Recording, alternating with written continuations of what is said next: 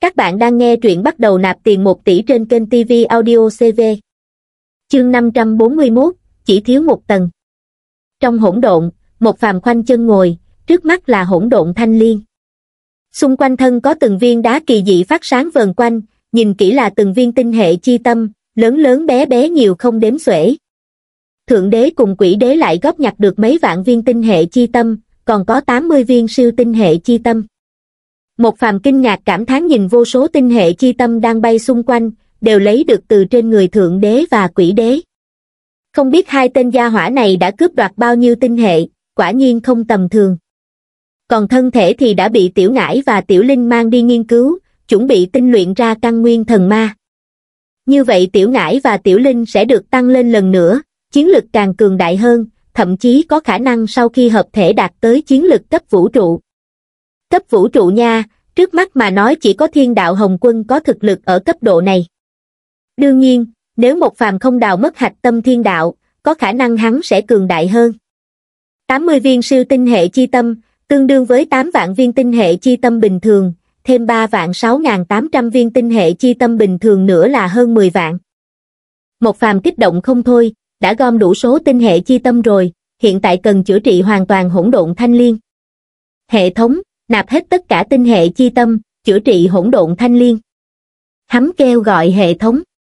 Đinh, bắt đầu chữa trị hỗn độn thanh liên. Chỉ nghe hệ thống vang tiếng nhắc nhở, vô số tinh tinh hệ chi tâm chung quanh đều biến mất, ngay sau đó có một lực lượng thần bí lực lượng dũng mãnh tiến vào hỗn độn thanh liên. Ông, thanh liên chấn động, phát ra sương mù hỗn độn mông lung, hơi thở huyền ảo sôi trào, từng cánh hoa bắt đầu lần mọc ra. Tốc độ chữa trị lần này nhanh hơn trước, chớp mắt liền mọc ra ba cánh hoa.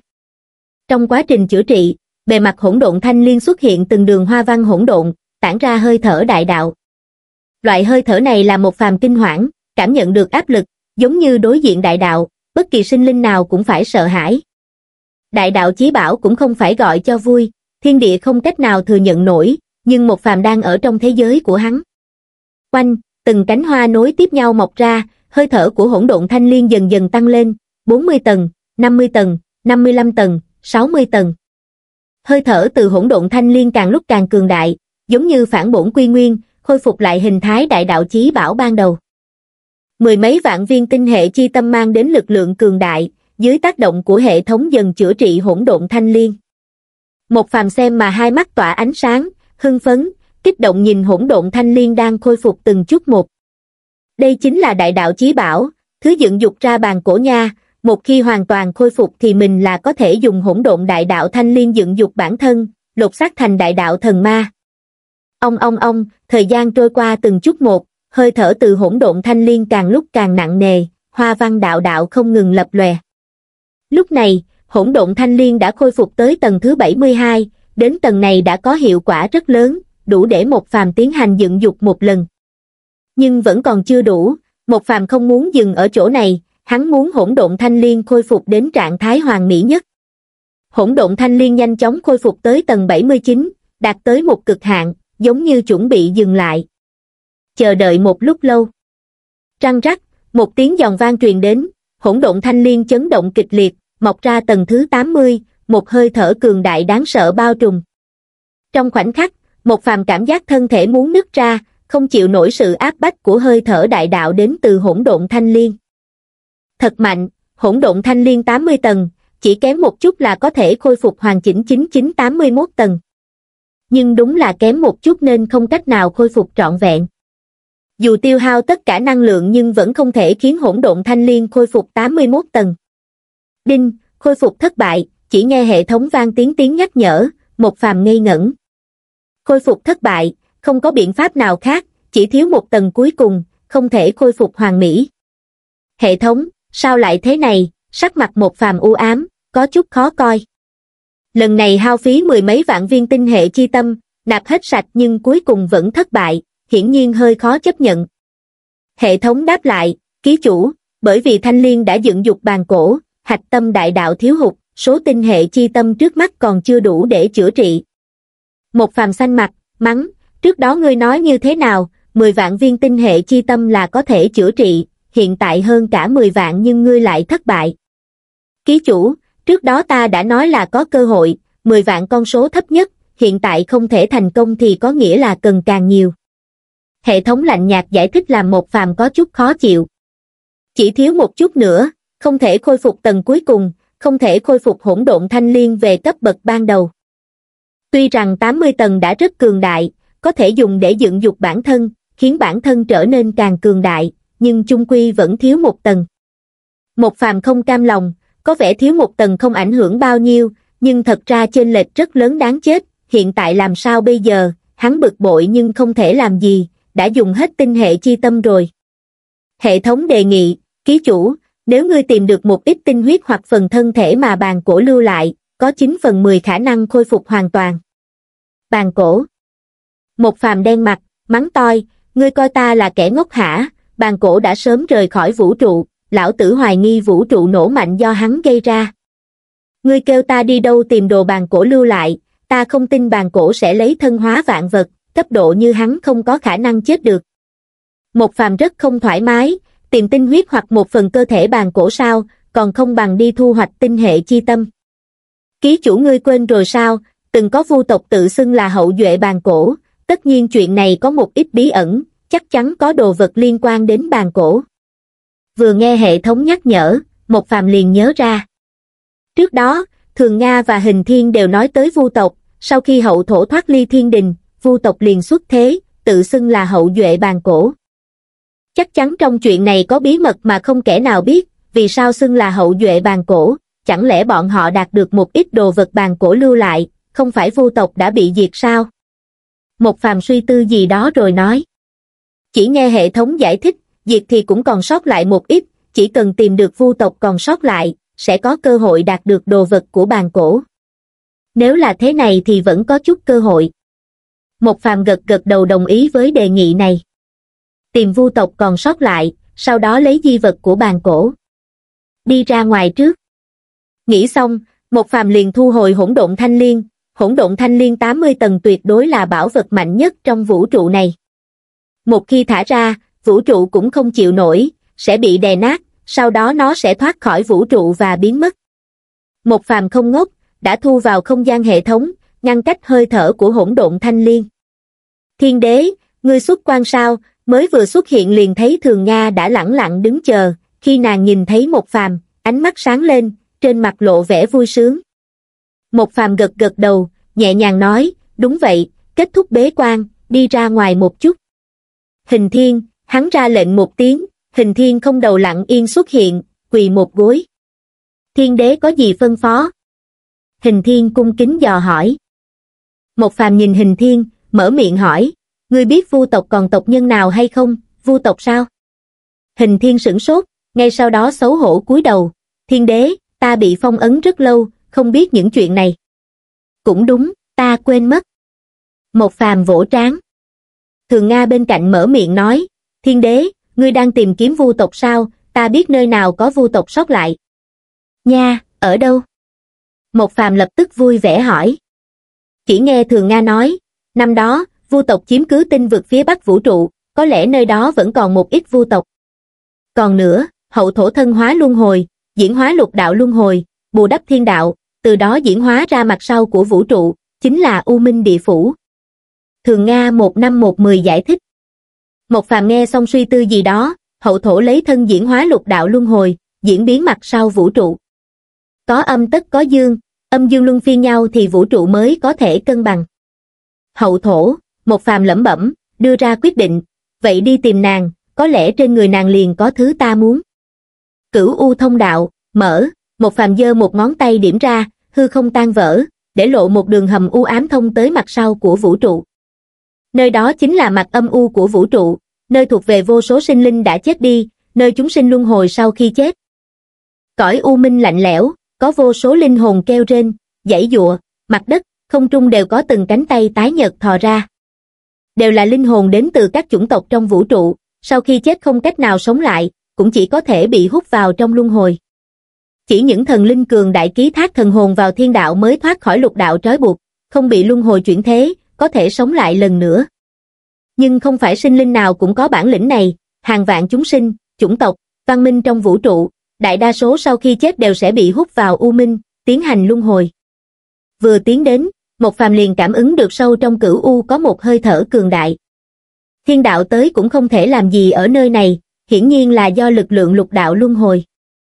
Nơi này không thuộc thiên đạo quản hạt. Hậu thổ, còn nhớ trẫm sao, một phàm nhìn sâu vào u minh vô tận, lạnh nhạt nói ra một câu. Vừa dứt lời, toàn bộ thế giới u minh sôi trào, vô số linh hồn, lệ quỷ ngừng than khóc kêu rên, một đám rung bần bật. Cung nghênh thiên đế giá lâm, chỉ nghe một giọng nói lạnh nhạt truyền đến, mang theo sự bình thản làm lòng người thoải mái. Không sai, đây là giọng hậu thổ. Hắn mang theo thường Nga, hình thiên bước tới một bước, nhanh chóng đi tới chỗ sâu nhất. Vừa tới gần thì đã thấy một nữ tử sớm chờ sẵn ở đó. Nàng chính là hậu thổ trước kia, hiện tại là luân hồi chi chủ. Một nam một nữ yên lặng đối diện. Một phàm nhìn chăm chú vào nữ nhân trước mắt, đã từng là một trong tứ phương đại đế của cổ thiên đình, hậu thổ. Hiện tại là luân hồi chi chủ trong cấm địa luân hồi. Thiên đế, đối diện một lúc lâu, rốt cuộc hậu thổ cũng hành lễ, phá vỡ sự yên lặng. Nhìn hậu thổ, một phàm gật đầu, trong lòng thầm than, nàng đã không còn là hậu thổ trước kia. Một phàm sắp xếp lại cảm xúc, mở miệng nói, lần này trẫm tới, một là để thăm ngươi, hai là hỏi ngươi xem có đồ vật mà bàn cổ lưu lại hay không. Hậu thổ nghe xong sửng sốt, cúi đầu yên lặng. Một phàm cũng không thúc giục, chỉ là lẳng lặng đi tới cấm địa phía trước. Trước mắt hắn chính là luân hồi chi luân thật to, ù xoay tròn, cắn nuốt linh hồn của vô số sinh linh trong vũ trụ, đưa tất cả chuyển thế.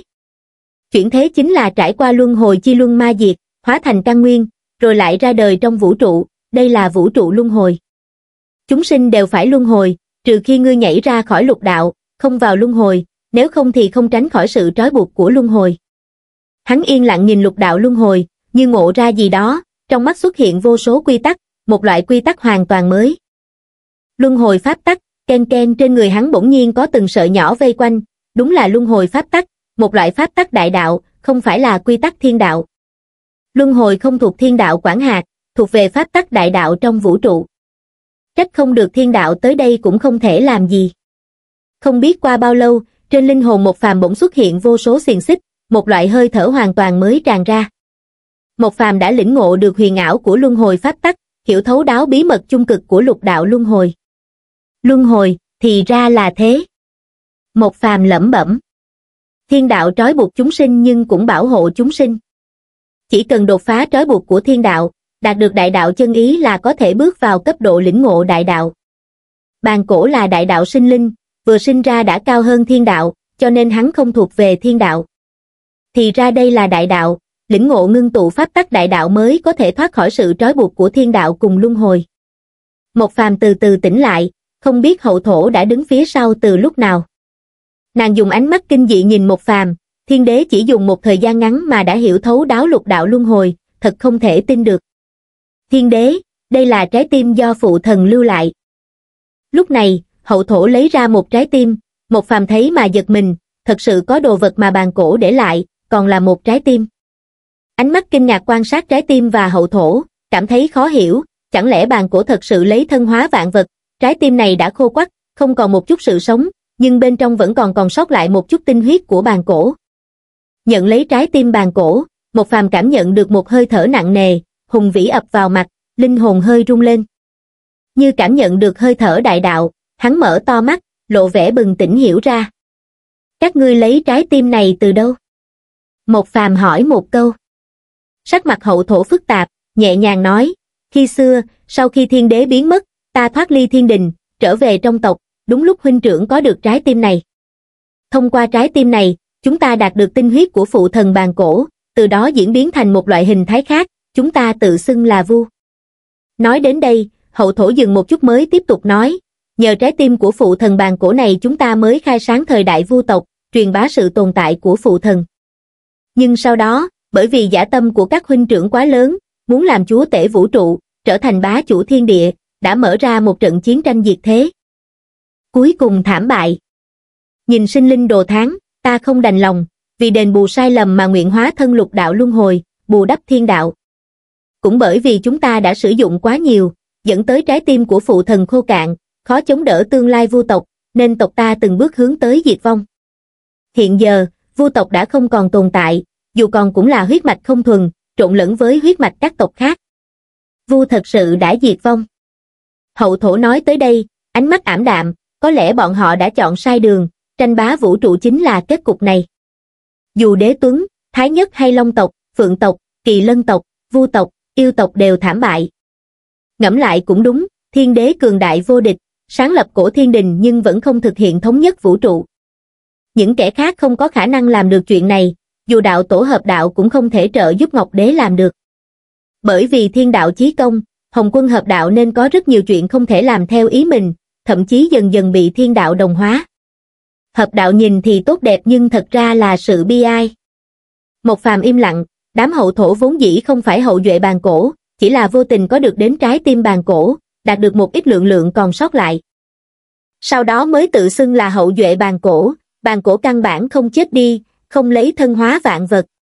Bàn cổ là sinh linh đầu tiên, hắn bổ ra hỗn độn, thoát khỏi vũ trụ, đã sớm biến mất. Hệ thống, nếu bàn cổ đã sớm thoát khỏi vũ trụ, vì sao còn lưu lại trái tim này, một phàm cảm thấy khó hiểu nên dò hỏi hệ thống.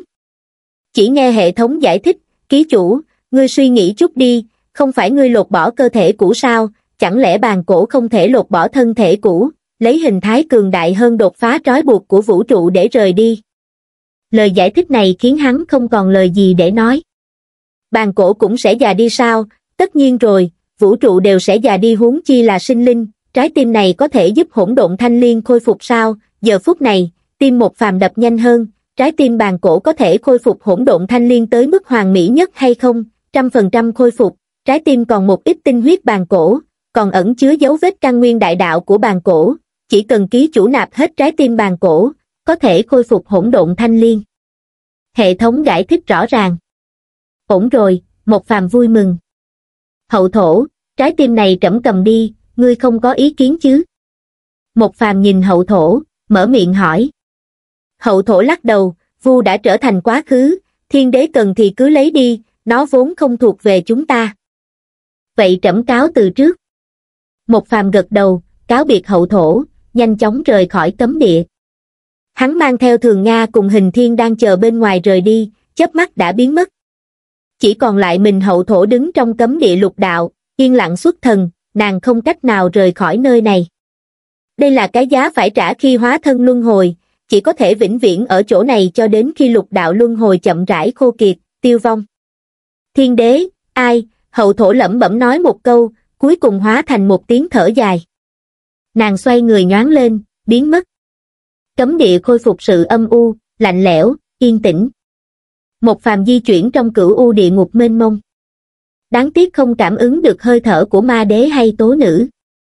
Hắn không dò hỏi hậu thổ chuyện ma đế chết như thế nào, tố nữ có ngã xuống hay không bởi vì không cần. Đi thôi, cuối cùng, một phàm rời khỏi mặt sau của vũ trụ. Vừa trở về, hắn đã gấp không chờ nổi mà tiến vào thế giới của mình, đứng trong hư không hỗn độn, lấy trái tim bàn cổ và hỗn độn thanh liên ra. Hệ thống, nạp bàn cổ chi tâm, bắt đầu chữa trị hỗn độn thanh liên. Giờ phút này, một phàm trở nên nghiêm túc, chỉ cần khôi phục hỗn độn thanh liên về ban đầu, mình có thể trở thành đại đạo sinh linh như bàn cổ. Trở thành tồn tại đứng đầu vũ trụ, thoát khỏi sự trói buộc của vũ trụ. Ông, vừa dứt lời, trái tim bàn cổ rung nhẹ, dần dần biến mất. Trong khoảnh khắc, hỗn độn thanh liên rung động kịch liệt, sức mạnh to lớn của hệ thống lại dũng mãnh tràn vào. Lúc này, dưới tác dụng của lực lượng từ hệ thống, dấu vết đại đạo thuộc về bàn cổ dung nhập vào hỗn độn thanh liên, dần dần nghịch chuyển, bù lại căn nguyên đại đạo đã mất. Thời gian trôi qua từng chút một, hơi thở hỗn độn thanh liên càng lúc càng mãnh liệt, từng đường hoa văn đại đạo đang xen lan tràn, phủ kín bề thanh liên. Một phàm cảm giác được hạch tâm hỗn độn thanh liên đang khôi phục, rốt cuộc bắt đầu mọc ra tầng cánh hoa cuối cùng. Ken ken ken, từng tiếng len ken truyền đến, như có như không, như đại đạo chi âm ẩn chứa huyền diệu vô tận. Một hơi thở thê lương, cổ xưa tràn ngập, hỗn độn thanh liên phun trào sương mù hỗn độn. Hơi thở thuộc về căn nguyên đại đạo rốt cuộc xuất hiện. Ông, thế giới của một phàm muốn hỏng mất nhưng được lực lượng của hệ thống củng cố. Rốt cuộc hỗn độn thanh liên hoàn thành khôi phục tầng thứ 81, trong khoảnh khắc hoàn thành, toàn bộ thế giới chấn động kịch liệt, nứt ra. May mà dưới sức mạnh to lớn của hệ thống, hơi thở của hỗn độn thanh liên dần dần thu liễm, trở nên giống một đóa sen bình thường hỗn độn thanh liên hoàn toàn khôi phục 81 tầng, tản ra đại đạo thần vận. Thành công rồi sao? Một phà mừng rỡ, hai mắt sáng quắc, rốt cuộc đã thành công. Hệ thống, kế tiếp nên dựng dục bản thân như thế nào, hắn đã gấp không chờ nổi. Chỉ nghe hệ thống giải thích, ký chủ tự dựng dục, cần trải qua mấy trăm triệu năm như bàn cổ, thậm chí cần thời gian càng dài hơn có thể hoàn thành quá trình dựng dục. Một phà muốn câm nín, mắng to, có rắm mau thả, có phải muốn nạp tiền hay không, ngươi muốn tiền thì cứ nói thẳng. Không sai, ký chủ chỉ cần nạp tiền là có thể rút ngắn thời gian. Hệ thống trả lời rất dứt khoát. Sắc mặt một phàm trở nên u ám, hỏi, nói đi, cần nạp bao nhiêu, chỉ cần 20.000 tỷ, dịch vụ dựng dục bàn cổ siêu xa hoa, có thể hoàn thành trong một ngày. Nghe hệ thống nói xong, một phàm muốn hộp máu, hệ thống chó, thật biết hố tiền. 20.000 tỷ, hệ thống há miệng thật to nha. Một phàm hơi buồn bực, trên người chỉ có hơn 25.000 tỷ, giờ phải dùng gần hết, thật sự không thể để hắn có nhiều tiền một chút sao, thôi, nạp tiền, ta muốn dựng dục bản thân. Hắn cắn răng đưa ra quyết định, nạp tiền, dùng hỗn độn thanh liên dựng dục bản thân trở thành tồn tại như bàn cổ. Đinh, nạp 20.000 tỷ, bắt đầu dựng dục. Tiếng hệ thống nhắc nhở truyền đến, vô số thần thạch trên người một phàm biến mất, hắn chưa kịp đau lòng thì đã bị một lực lượng kéo vào trong hỗn độn thanh liên. Ông, thanh liên chấn động, từng cánh hoa khép lại, hỗn độn đại đạo thanh liên như chưa từng nở ra. Trong hỗn độn thanh liên, một phàm rơi vào trạng thái mông lung, giống như trở về lúc sơ sinh, thân thể dần dần lột xác. Trực tiếp lột xác thành một đứa trẻ, sau đó bắt đầu được hỗn độn đại đạo thanh liên dựng dục. Từ trong ra ngoài thoát khỏi trói buộc, một khi hoàn thành dựng dục, chắc chắn sẽ trở thành một sinh linh như bàn cổ. Đến lúc đó, thành tựu của một phàm sẽ không kém hơn bàn cổ lúc xưa, thậm chí tương lai có thể vượt qua bàn cổ. Dù sao hắn có một hệ thống, tuy rằng hay đào hố nhưng rất ra sức, có thể chữa trị hỗn độn thanh liên 81 tầng. Ông ông ông, một đóa thanh liên lơ lửng trong hỗn độn, tản ra sương mù mờ ảo, từng trận đại đạo thiên âm truyền ra, giống như bên trong đang ấp ủ đại đạo. Khi hỗn độn thanh liên dựng dục một phàm, toàn bộ vũ trụ bên ngoài bỗng nhiên rung rẩy, thiên đạo hồng quân cũng bị kinh động, vẻ mặt ngơ ngác. Bởi vì đây là cảnh báo đến từ thiên đạo, thiên đạo than khóc, hình như có thứ gì đó vượt trên thiên đạo xuất hiện, nhưng lại không biết tung tích. Thiên địa than khóc, vạn đạo rung rẩy, chắc chắn có đại họa lâm đầu. Hồng quân lẩm bẩm, trên gương mặt lạnh nhạt xuất hiện vẻ kinh hoảng. Cường giả, bá chủ, thần ma khắp vũ trụ tự dưng cảm thấy hốt hoảng, dự cảm được một trận tai nạn đáng sợ sắp buông xuống. Một phàm không biết vũ trụ đã xuất hiện biến cố. Trên lý luận, đại đạo thanh liên 81 tầng không có khả năng xuất hiện lúc này, vũ trụ ban đầu dựng dục ra nó, nó dựng dục ra bàn cổ rồi tổn hại. Không có khả năng lại dựng dục ra một đại đạo sinh linh nữa, nhưng một phàm có hệ thống, cuối cùng khôi phục được hỗn độn thanh liên 81 tầng. Tương đương với chuyện vũ trụ xuất hiện hai đại đại đạo sinh linh, một là bàn cổ, một là một phàm hiện đang được dựng dục. Một vũ trụ không có khả năng dựng dục ra hai đại đạo sinh linh cho nên vũ trụ xuất hiện một ít biến cố. Còn may là một phàm không thả hỗn độn đại đạo thanh liên ra ngoài, nếu không thì có khả năng dẫn phát toàn bộ vũ trụ tan vỡ.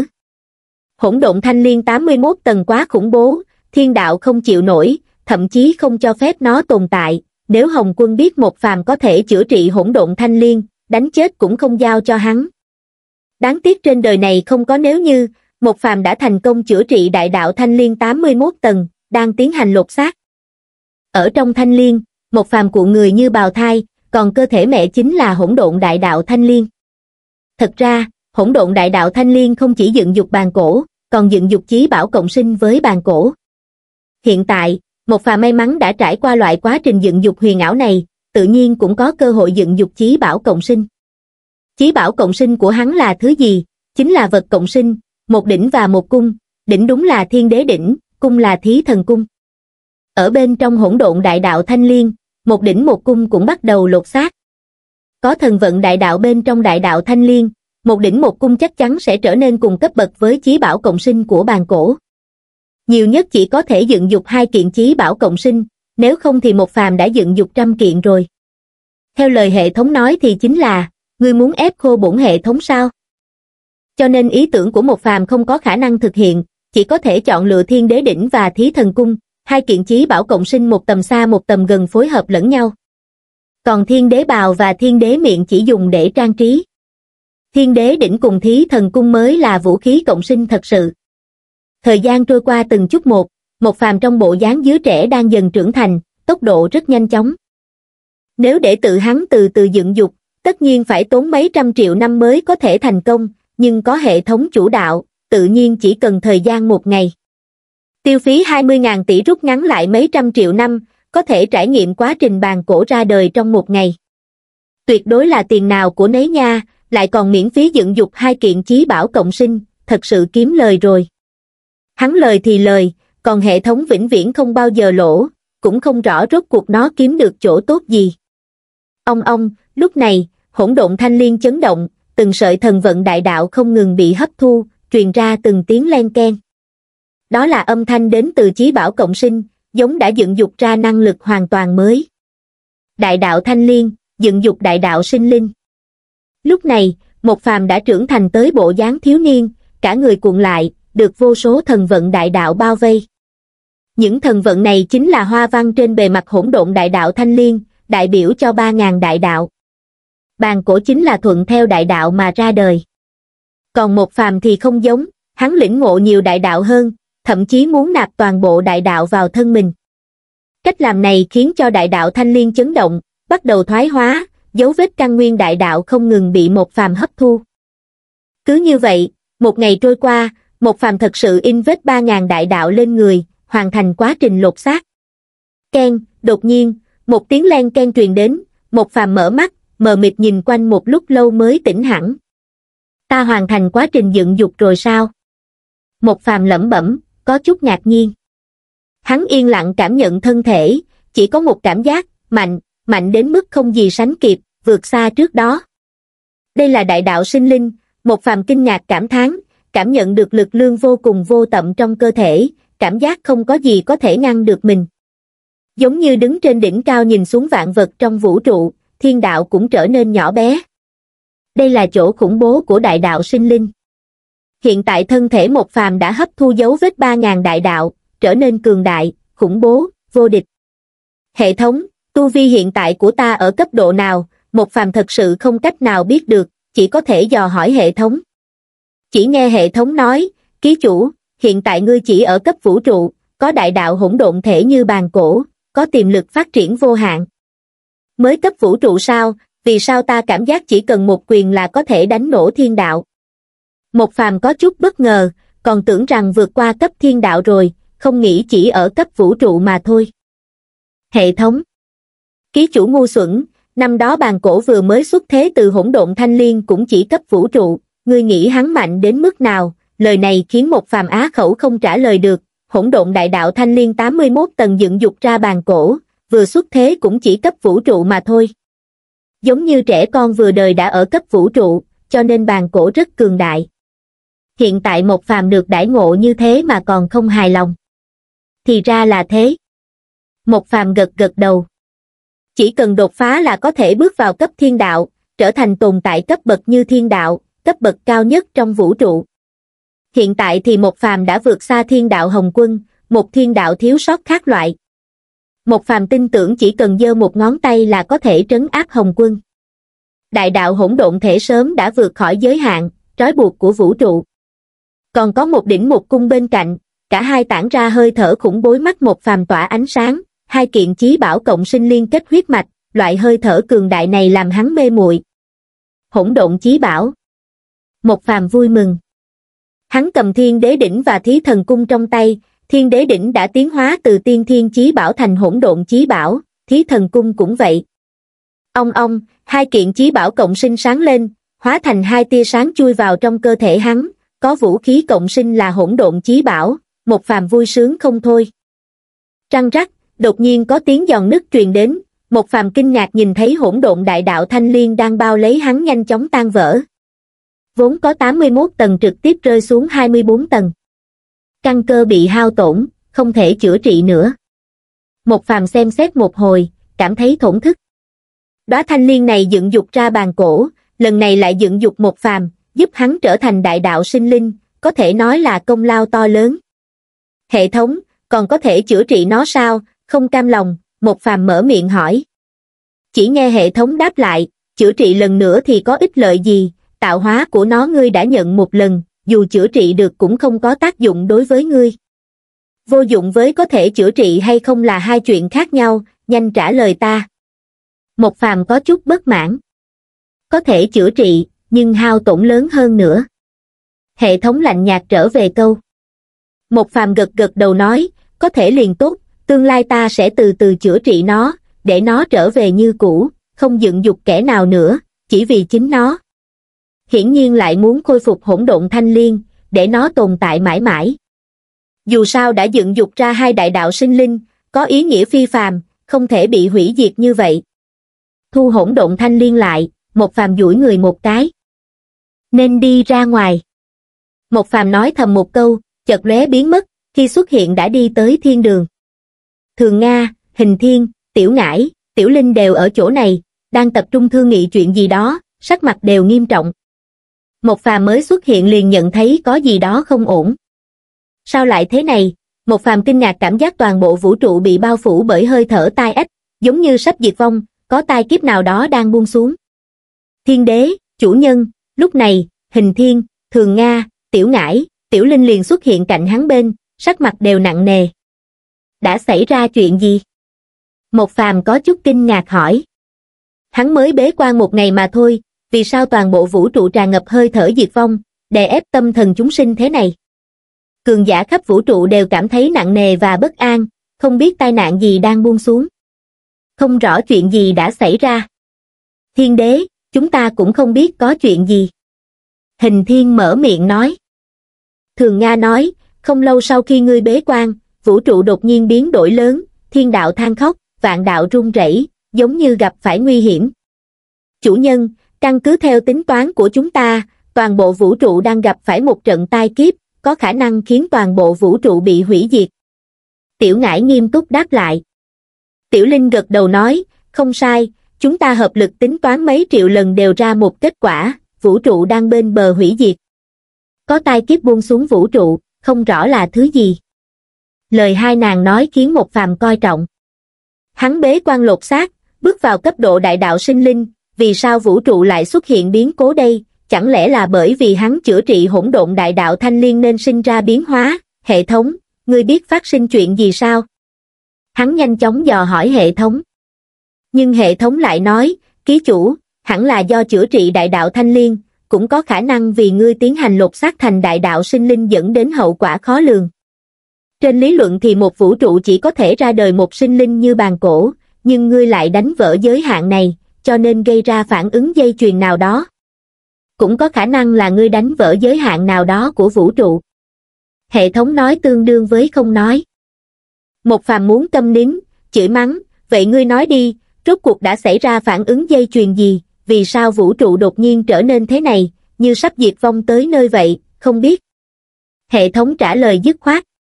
Một phàm buồn bực, tức giận nói, không phải ngươi tự xưng toàn năng sao, không gì không làm được sao, nạp tiền nha, căn cứ theo tính toán của hệ thống, chỉ cần ký chủ nạp 50.000 tỷ là có thể biết có chuyện gì liền.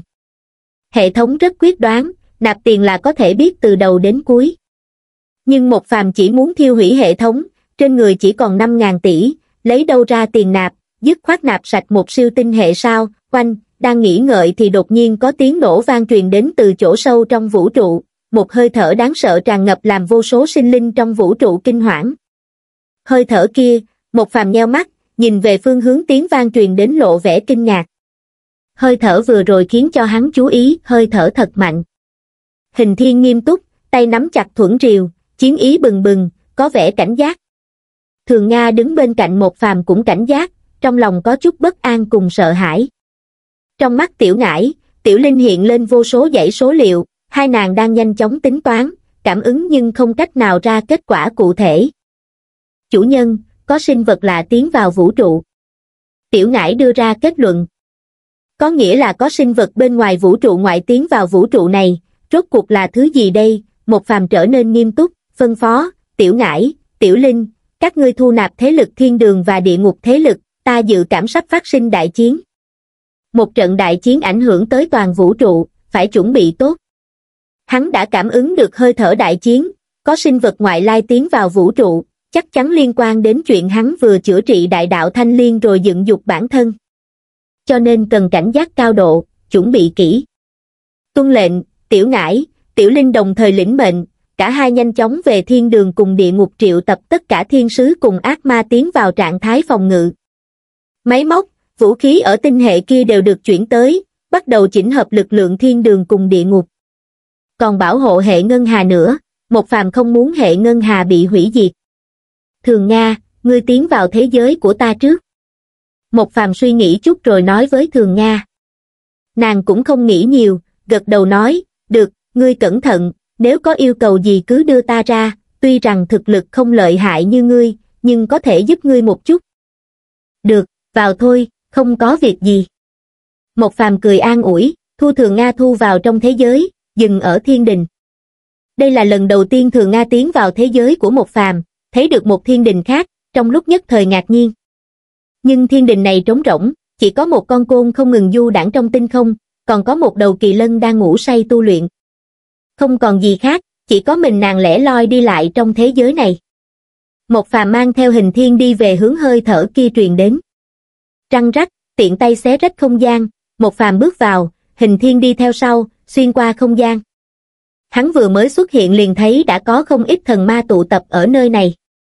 Ngọc Đế, Cổ Phật, còn có một ít cường giả khác thiên đế, thấy một phàm đến, Ngọc Đế, Cổ Phật, Thái Thượng cùng một ít thần ma nhận biết một phàm đều hành lễ. Hành động này đại biểu cho sự tôn trọng, kính sợ.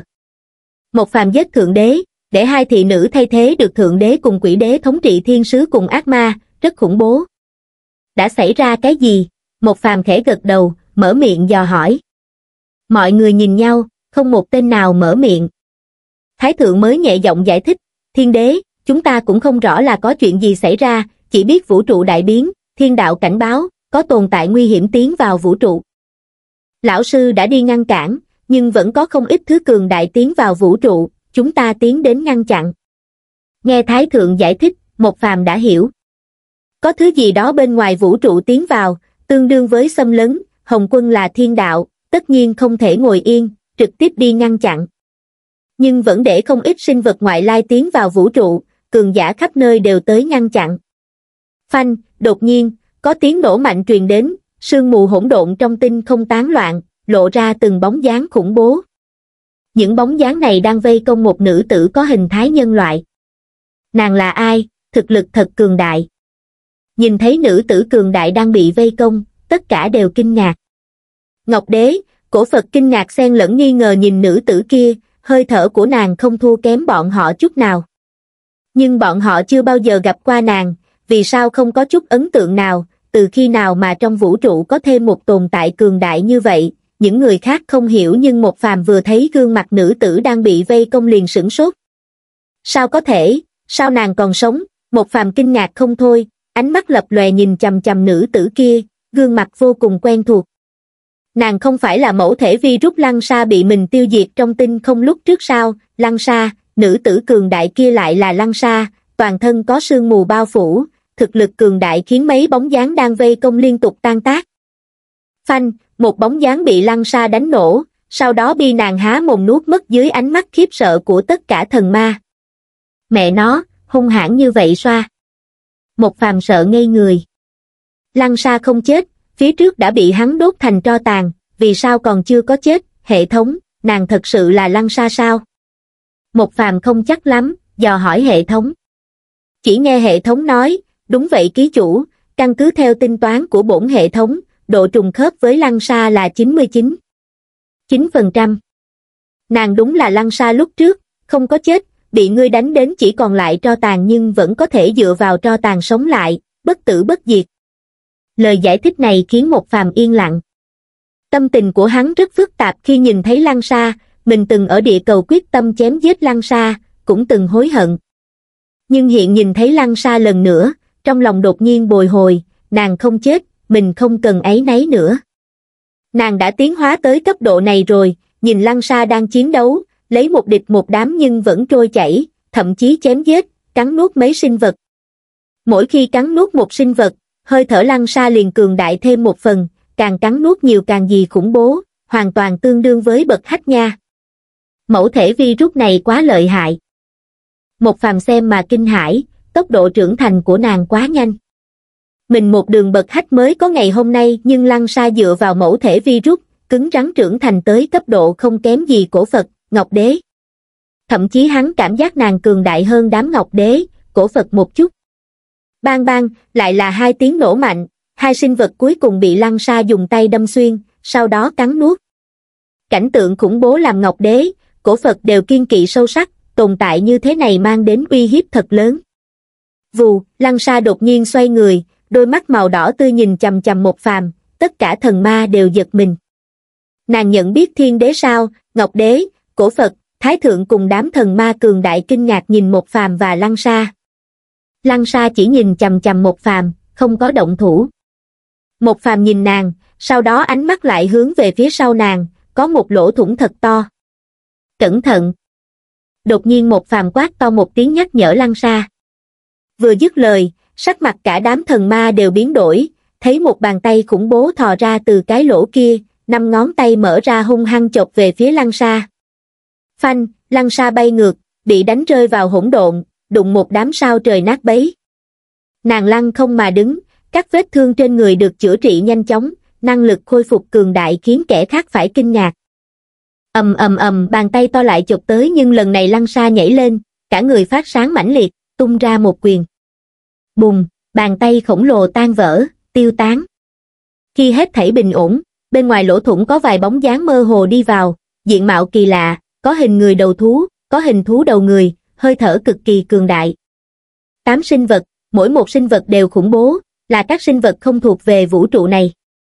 Hừ, vũ trụ này chỉ có rác rưởi thế này thôi sao?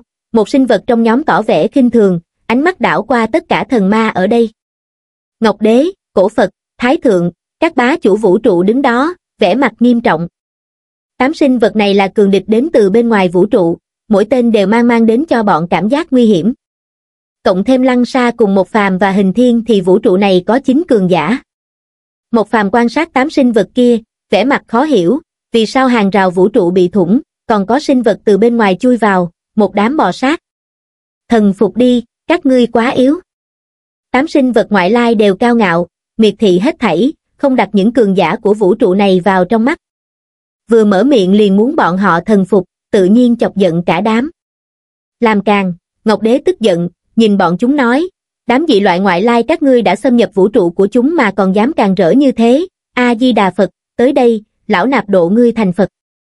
Cổ Phật chấp tay trước ngực, trực tiếp chọn sinh vật vừa mới mở miệng kêu bọn họ thần phục.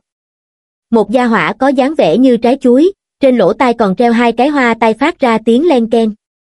Nó khinh thường nói, rác rưởi, một tay bổn tọa có thể bóp chết ngươi.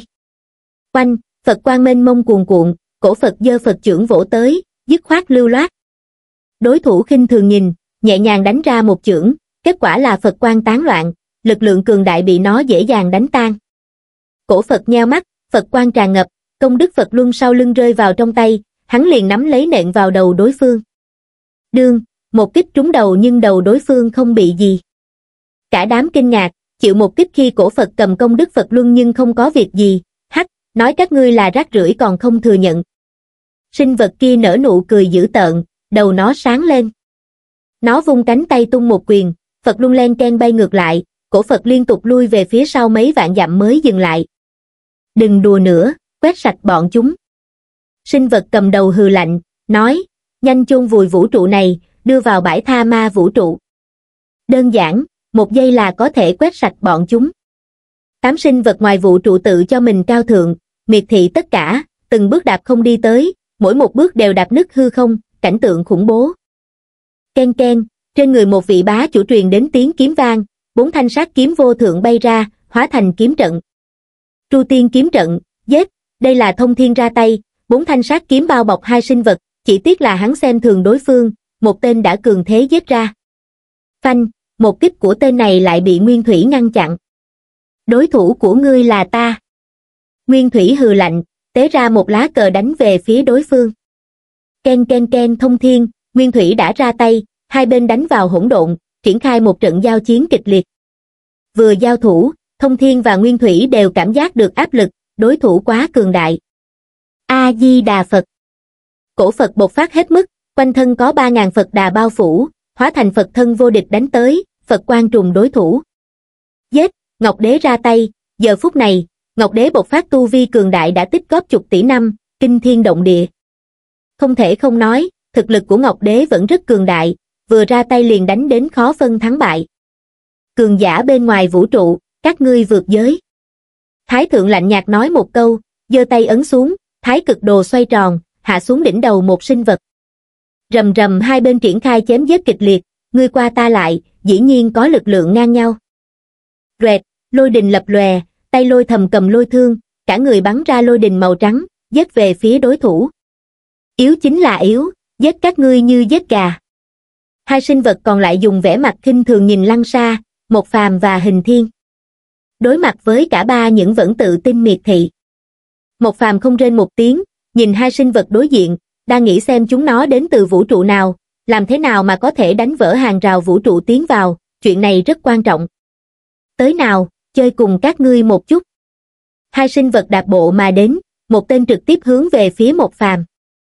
Hắn không nhúc nhích, còn hình thiên bên cạnh tức giận trống to. Làm càng, hình thiên cầm thuẫn rìu xông thẳng tới, bổ một rìu về phía đối phương. Trăng rắc, hư không vỡ ra, một rìu cường đại làm đám sinh vật ngoài vũ trụ kinh ngạc. Có chút thú vị, ngươi đáng giá để bổn tọa nghiêm túc thêm một phần. Nó khinh miệt cười, giơ một ngón tay điểm tới. Tấm chắn của hình thiên kêu ong ong, thân hình nhanh chóng lui về phía sau, nện nát một tinh cầu. Lực lượng cường đại hủy diệt sao trời, dư chấn đáng sợ đánh tan hỗn độn tinh vân xung quanh.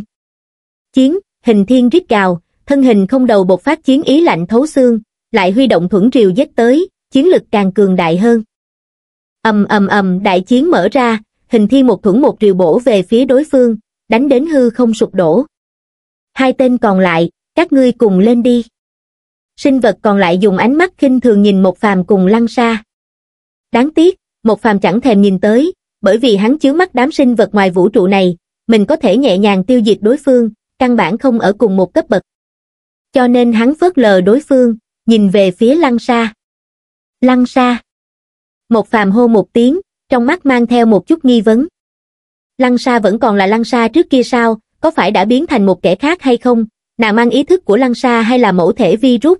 Nghe tiếng một phàm gọi, lăng sa dừng một chút, quay đầu nhìn về phía hắn, hai ánh mắt va chạm, ánh mắt lạnh băng vô tình xuyên thấu vào tâm thần. Một phàm chấn động, biết rằng lăng sa trước kia đã không còn nữa, trong lòng khe khẽ thở dài, chung quy là đã chết. Có thể nói là không chết, chỉ biến thành một lăng sa khác. Bò sát cấp thấp, ngươi dám phớt lờ ta, thấy một phàm phớt lờ, sinh vật ngoài vũ trụ tức khắc tức giận. Nó vừa nói xong, cả người như tia chớp đánh tới, tốc độ nhanh đến mức tận cùng, tung một chiêu tàn nhẫn về phía một phàm. Một phàm vẫn bình tĩnh, đang muốn động thủ thì có một bóng đen đã ra tay trước. Phanh, sinh vật ngoài vũ trụ bay ngược. Lăng sa ra tay, nàng không rên một tiếng, ngưng tụ năng lượng toàn thân, một quyền nện vào đầu đối phương. Trăng rắc, đầu sinh vật ngoài vũ trụ vỡ ra, máu văng tung tóe. Chỉ một sinh vật cấp thấp mà có thể làm bổn tọa bị thương, nó sờ đầu bị thương, miệng vết thương khép lại trong chớp mắt, mặt lộ vẻ tức giận nhìn lăng sa, ánh mắt tràn ngập sát khí. Chết, nó giận dữ đánh tới, một quyền một chưởng nện tới trước mặt lăng sa. Phanh phanh phanh, lăng sa không cam lòng yếu thế, quyền chưởng hai bệ va chạm, giao thủ mấy chục vạn chiêu, nhanh tới cực hạn. Hai bên đang giao phong kịch liệt, chỉ là mắt thường không nhìn thấy động tác nên trông giống như không nhúc nhích. Hai bóng dáng chính là tàn ảnh, lưu lại tại chỗ chừng một phút mới biến mất, có thể thấy được tốc độ nhanh đến mức nào. Chỉ còn lại một phàm không ra tay, lẳng lặng nhìn hai bên đại chiến, chém giết lẫn nhau. Hệ thống, ngươi biết bọn chúng đến từ vũ trụ nào sao? Lúc này, một phàm bắt đầu dò hỏi hệ thống. Không lâu sau, trong đầu truyền đến tiếng hệ thống, ký chủ, ngươi không tự tìm hiểu, suy xét đi, sao bổn hệ thống biết bọn chúng đến từ vũ trụ nào chứ, hệ thống vô dụng. Một phàm có chút bất mãn nói thầm một câu. Ánh mắt hắn sáng quắc nhìn đảo qua khắp nơi, đại chiến vẫn tiếp tục, hai bên chiến đấu càng thêm kịch liệt. Một phàm nhận thấy rõ, nhìn thì lực lượng ngang nhau nhưng cường giả vũ trụ này đang dần dần rơi vào thế hạ phong. Một phàm biết không bao lâu nữa thì cường giả vũ trụ này sẽ bại trận. hắn cảm giác được tám sinh vật ngoài vũ trụ này rất cường đại. Trừ một số ít có thể chống lại, còn lại đều sẽ bại trận. Một phàm nhìn một hồi, không có chú ý đại chiến nơi này nữa, lắc mình đi tới trước lỗ thủng kia. Cường giả bên ngoài vũ trụ tiến vào từ nơi này, bên ngoài có phải là một vũ trụ khác hay không? Mang theo vài phần tò mò, một phàm nhất chân bước vào trong đó, muốn đi qua lỗ thủng này, nhìn xem có phải bên kia là một vũ trụ khác. Sinh mệnh thấp kém, ngươi quá càng rỡ. Nhìn thấy hành động của một phàm, tám sinh vật ngoài vũ trụ tức khắc nổi giận. Giống như phạm vào cấm kỵ, để sinh vật mình khinh thường bước vào, tuyệt đối là chuyện không thể chấp nhận. Cho nên một sinh vật đang giao chiến cùng Ngọc Đế bùng nổ, đã thương Ngọc Đế rồi xoay người giết về phía một phàm. Hắn muốn ngăn cản một phàm tiến vào lỗ thủng, sinh vật khác cũng không còn tâm tình chơi đùa, toàn lực bùng nổ đã thương đối thủ. ầm, mấy bóng dáng chật vật ngã xuống, đều bại trận. Ngọc Đế, Lôi Thần, miên Thủy, Thông Thiên dẫn đầu bại trận, không thể ngăn cản đối thủ. Chỉ còn cổ Phật, Thái Thượng đang đau khổ chống đỡ, không có bại trận nhưng đã rơi vào hoàn cảnh xấu. Hình Thiên cùng Lăng Sa thì ngược lại, càng đánh càng mạnh. Hình Thiên càng đánh càng hăng, một thuẫn một triều đánh đến khó phân thắng bại, chiến ý tận trời, thực lực cường đại làm đối thủ phải kinh ngạc cảm thán. Phanh, đột nhiên có một tiếng vang lớn truyền đến, từ hỗn độn có một bóng dáng chật vật ngã xuống. Biến cố bất ngờ làm tất cả ngưng chiến, sôi nổi dương mắt nhìn. Lão sư, đạo tổ, sắc mặt của nhóm Ngọc Đế, cổ Phật, Thái Thượng đều thay đổi, kinh hãi nhìn bóng dáng vừa ngã xuống, đúng là thiên đạo Hồng Quân. Thiên đạo bị thương rồi. Hồng Quân, ngươi bị thương, một phàm nhìn bóng dáng ngã xuống, đúng là thiên đạo Hồng Quân, hắn bị thương rồi. Sắc mặt Hồng Quân lạnh nhạt, bị thương nhưng không có một chút biểu cảm. Hắn nhìn một phàm liếc mắt một cái, nói, thiên đế, ngươi đã đến rồi, vũ trụ bên ngoài đột nhiên xâm lấn, ta không ngăn được. Ngươi không ngăn được sao? Một phàm thật sự bất ngờ. Là địch nhân thế nào mà cả thiên đạo cũng không ngăn được, chẳng lẽ là thiên đạo bên ngoài, hắn tới, Hồng quân dương mắt nhìn. Một phàm nhìn theo tầm mắt của hắn, quả nhiên thấy được một bóng dáng mơ hồ chậm rãi xuyên qua hàng rào vũ trụ, hiện lên trước mắt tất cả thần ma. Bóng dáng mơ hồ này mang đến cảm giác áp bách cường đại khiến cả vũ trụ đều rung rẩy. Chúng sinh hoảng sợ, thiên đạo bên ngoài sao, thái thượng, nguyên thủy, ngọc đế, cổ Phật cùng các cường giả khác đều kinh hãi khi nhìn thấy bóng dáng cường đại đột nhiên xuất hiện này, hơi thở chí cao vô thượng đè ép khiến bọn họ không thở nổi. Không sai, chính là thiên đạo. Nhưng là thiên đạo bên ngoài, thiên đạo của một vũ trụ khác, cường đại hơn so với thiên đạo của vũ trụ này. Bằng không thì Hồng Quân cũng sẽ không bị thương. Ta thiếu hạch tâm thiên đạo, không có cách nào chống lại hắn, nếu thiên đế có thể trả lại hạch tâm thiên đạo, có lẽ ta có thể đánh thắng hắn. Hồng Quân vừa nói vừa nhìn về phía một phàm. Hắn muốn lấy hạch tâm thiên đạo bị thiên đế đào mất về. Một phàm liếc mắt một cái, ngươi không bị đối phương đánh đến ngu ngốc chứ, trên người ta có hạch tâm thiên đạo hay không ngươi không cảm ứng được sao, nói cho ngươi biết, hạch tâm thiên đạo đã sớm biến mất, bị một thiên đạo khác cắn nuốt, ngươi cũng đừng hòng lấy về. Vừa nghe lời này, Hồng quân liền ngây ra. Hắn nhìn chầm chầm một phàm, hiển nhiên không tin, nhưng lại không thể không tin, thiên đế nói một là một, căn bản không cần phải lừa hắn. Là thiên đạo, hắn biết rõ một phàm không nói dối. Bị một thiên đạo khác cắn nuốt, Hồng quân nghe mà chấn động, chẳng lẽ thiên đế đã sớm gặp qua thiên đạo của vũ trụ khác, vù, lúc này, hai bên đang giao chiến đều tách ra, đứng đối mặt nhau. Ngọc đế, lôi thần, thái thượng, thông thiên, nguyên thủy đứng phía sau hồng quân. Lăng sa ngưng chiến, tới đứng bên cạnh một phàm, cùng hình thiên một trái một phải, không rên một tiếng. Một phàm nhìn nàng gật đầu, không nhiều lời, trước kia đã giết lăng sa một lần, nhưng không giết chết đối phương. Lần này gặp mặt cũng không tiếp tục chém giết hay báo thù mà là nhất trí đối ngoại. Thiên đế, lúc này, cổ Phật có hành động ngoài dự đoán, hắn đứng phía sau một phàm, Hồng quân cũng liếc nhìn hắn một cái, hiển nhiên là cổ Phật tỏ thái độ. Hắn đứng về phía một phàm. Có bị thương không? Một phàm gật gật đầu dò hỏi. Bệ hạ, mạc tướng còn có thể tái chiến một vạn năm. Hình thiên dõng dạc. Lăng sa không rên một tiếng. Cổ Phật chắp tay trước ngực, thiên đế, lão nạp không có việc gì, chỉ là đối thủ hơi mạnh, thủ đoạn của cường địch ngoài vũ trụ rất lợi hại. Được rồi, lát nữa các ngươi bắt lấy một tên, đánh chết mới thôi, lưu thi thể lại cho ta, ta muốn nghiên cứu chút. Một phàm không chút kiên dè nói ra mấy lời thế này trước mặt đối phương. Tìm chết, tám cường giả vũ trụ khác ở phía đối diện nổi giận, chỉ mỗi vị thiên đạo kia không trên một tiếng, từ khi xuất hiện tới giờ, hai mắt chưa từng rời khỏi một phàm, lộ vẻ kiên kỵ. Hắn cảm ứng được uy hiếp đến từ trên người một phàm, đối thủ còn lợi hại hơn thiên đạo của vũ trụ này, có chút khó tin. Các ngươi ở cùng một vũ trụ sao, vì sao có hai thiên đạo, thiên đạo đối diện lạnh nhạt mở miệng hỏi. Ánh mắt đám hồng quân nhìn về một phàm, hiển nhiên nói tới thiên đế. Trẫm tức là thiên, thiên, lại không phải trẫm, ngươi nói đi, một phàm lạnh nhạt đáp lại, ý hắn rất rõ, nói cho đối phương biết ta chính là thiên nhưng thiên đạo lại không phải ta. Lời này rất cuồng vọng, bản thân hắn chính là thiên, mà thiên đạo không phải hắn, chính là đứng trên cả thiên đạo. Rất tốt, vũ trụ này không tệ, sau khi cắn nuốt thiên đạo của các ngươi, ta có thể thoát khỏi trói buộc, thoát ly gông xiềng của vũ trụ, bước vào lĩnh vực cao hơn. Thiên đạo đối diện là một bóng dáng mơ hồ, nói xong thì thân thể đột nhiên phát sáng. Nó hiện ra tư thái vô địch, huy hoàng, chiếu sáng hư không hỗn độn u ám, khiến vô số sinh linh khủng hoảng. Cắn nuốt thiên đạo, một phàm cười, tiếng cười có chút khủng khiếp. Hai mắt hắn lập lòe ánh sáng, quan sát thiên đạo đối diện, vẻ mặt trở nên hưng phấn, giống như thấy con mồi. Biểu hiện này làm tất cả tồn tại ở đây không thể hiểu nổi.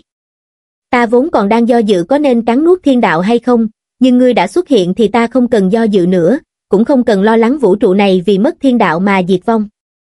Một nói từng câu từng chữ, bước tới một bước, hơi thở bùng nổ, đánh tan sương mù hỗn độn để vô số sinh linh nhìn thấy được tình cảnh nơi này. Giờ khắc này, sinh linh trong toàn bộ vũ trụ đều nhìn thấy, đây là một phàm cố ý tạo ra. Hồng quân kinh ngạc xen lẫn nghi ngờ nhìn một phàm, trong lòng kiên kỵ vạn phần, căn cứ theo lời nói vừa rồi, thiên đế thật sự có thực lực diệt sát thiên đạo. Nhưng bởi vì không muốn phá hư vũ trụ, sợ thiên đạo bị cắn nuốt thì vũ trụ sẽ diệt vong. Dù sao hắn còn thân nhân, bằng hữu sinh tồn trong vũ trụ này, không có khả năng để vũ trụ bị hủy diệt, nếu hủy diệt thì còn ý nghĩa gì nữa.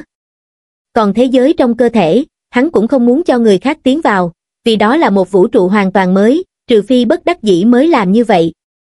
Hiện tại tốt rồi, đối diện là thiên đạo của một vũ trụ khác, sao có thể không khiến một phàm hưng phấn đây, hệ thống, thiên đạo trước mắt có trị giá bao nhiêu, hắn gấp không chờ nổi mà dò hỏi hệ thống. Chỉ nghe hệ thống đáp lại, nếu ký chủ có thể bắt giữ nó, giá trị không thể đo lường, một thiên đạo có giá trị tương đương với ngươi nạp nửa vũ trụ. Giá trị tương đương với một nửa vũ trụ, quá đáng giá. Nghe lời hệ thống nói, hai mắt một phàm tỏa ánh sáng, ánh mắt của hắn khiến thiên đạo đối diện đều có chút hải hùng khiếp vía, cảm giác bị xem là đồ ăn. Thật ra là bị xem thành vô số tiền trinh. Hồng quân, ngươi còn đánh được nữa không? Một phàm nhìn về phía Hồng quân, mở miệng hỏi. Hồng quân trả lời, chỉ là chút vấn đề nhỏ, tuy rằng đánh không thắng nhưng vẫn có thể đánh tiếp, thiên đế có kế hoạch gì, cũng không có kế hoạch gì, chỉ muốn ngươi mở hàng rào vũ trụ, phản công về vũ trụ của đối phương, không nên đặt chiến trường ở vũ trụ chúng ta. Một phàm không kiên dè, nói ra tính toán của mình trước mặt đối phương. Nếu để chiến trường ở vũ trụ mình, dù đánh thắng thì vũ trụ cũng bị phá nát. Phải biết rằng, chiến đấu cấp bậc như thiên đạo Hồng Quân và một phàm đều là hủy thiên diệt địa, tai nạn cấp vũ trụ nha. Sơ ý đánh hỏng vũ trụ thì không ra nước mắt, Hồng Quân tự nhiên đồng ý với chuyện này, nhưng thiên đế có lòng tin sao, ngươi có lòng tin đánh vào vũ trụ của đối phương. Hồng Quân có chút ngạc nhiên. Một phà mỉm cười, chỉ vào thiên đạo đối diện rồi nói, còn không phải là một thiên đạo thôi sao, trực tiếp dết vào hang ổ xử lý là được, dù sao cũng là vũ trụ của đối phương bị hủy diệt. Khốn nạn, tìm chết, hủy diệt vũ trụ này, thiên đạo đối diện bị lời một phàm nói kích thích, còn bị một phàm phớt lờ thẳng mặt. Nó không nhịn được nữa, trực tiếp động thủ. Quanh, một tiếng nổ vang lên, thiên đạo đối diện cùng với cường giả ngoài vũ trụ đồng thời bùng nổ, như muốn xé rách vũ trụ này. Trong lúc nguy cấp, một phàm bước ra một bước, lực lượng bùng nổ, vung tay tung một quyền. Ầm, một quyền vừa ra, vạn vật hủy diệt, quyền lực cường đại đánh tám cường giả cùng thiên đạo vũ trụ bên ngoài nện xuyên qua hàng rào hỗn độn, bay khỏi vũ trụ. Chỉ một quyền liền đánh bay cường giả cùng thiên đạo đối diện, lực lượng cường đại làm Hồng Quân tái cả mặt. Bởi vì hắn cảm nhận được hàng rào vũ trụ bị đánh xuyên, không cách nào ngăn cản, không cách nào tưởng tượng. Tiểu ngải, xuất lĩnh đại quân thần ma theo trẫm giết vào vũ trụ bên ngoài. Một phàm hét to, thân khoác thiên đế bào, bước qua hàng rào vũ trụ, giết vào vũ trụ bên ngoài. Giết, lúc này, hình thiên, lăng sa, cổ Phật đồng thời phóng ra, đi theo bước chân thiên đế, cùng nhau giết vào vũ trụ bên ngoài. Đây là cường thế đánh vào vũ trụ của đối phương, di dời chiến trường. Ầm, lúc này, thiên đường, địa ngục tập hợp vô số thiên sứ, ác ma, chiến sĩ cơ giáp. Đại quân cuồn cuộn tiến vào từ lỗ thủng mà một phàm đánh xuyên qua, thật sự phản công vũ trụ đối phương. Đám hồng quân xem mà ngây ngốc, thiên đế thật hung hãn, trực tiếp đánh bay đối thủ thì không nói, còn tự mình dết vào vũ trụ đối phương. Lão sư, chúng ta có đi chi viện hay không? Thái thượng nhỏ giọng hỏi.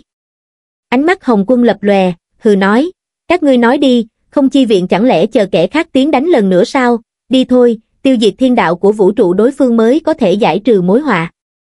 Nói xong, Hồng quân mang theo một đám cường giả xông ra. Có thiên đế cường thế như vậy, đối thủ xâm lấn đều kinh ngạc xen lẫn tức giận. Đáng chết, dĩ nhiên thật sự đánh vào vũ trụ của chúng ta, nhìn quân đoàn mênh mông cuồn cuộn tiến vào, vô số chiến sĩ, thiên sứ, ác ma gùa tới.